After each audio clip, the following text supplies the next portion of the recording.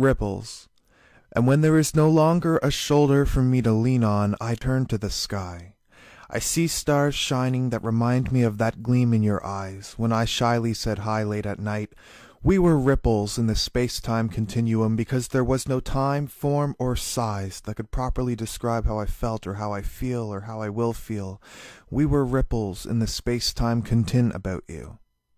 And when there is no longer a shoulder for me to lean on, I turn to the sky, and I am not reminded of gleaming eyes, I am reminded of galaxies bigger than I, bigger than we could have ever imagined.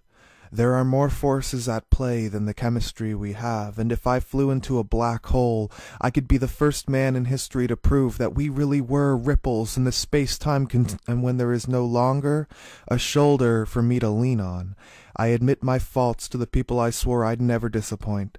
I tell them the darkness I once lived in, and they no longer see me the same.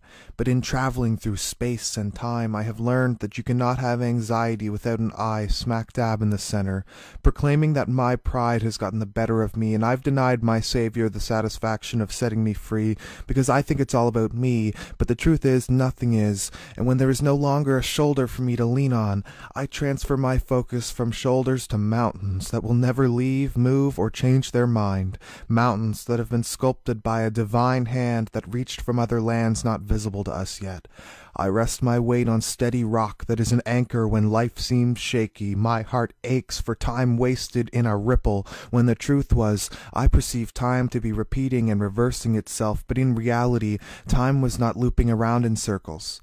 I was.